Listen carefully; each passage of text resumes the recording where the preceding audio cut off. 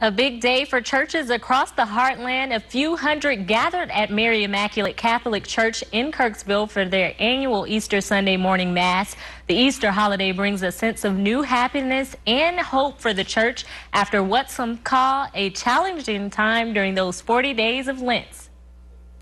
It is our story, it is our belief, it is the way that we have come to be shown by the Lord and have come to understand and to then believe that love is more lasting than hatred, that light overcomes darkness, most of all, that life outlasts death. That is the basic belief, assertion of Christianity. Father Cordes added that today's celebration is a day of joy. There was inspirational readings to songs of praise.